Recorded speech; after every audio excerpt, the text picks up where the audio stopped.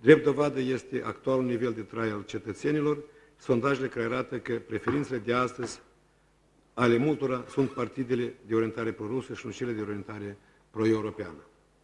Însă, după cum se spune, Dumnezeu e mare, iar banii nu aduc fericire. Și astăzi, în ciuda tuturor naufragilor politice, Republica își continuă cursul european.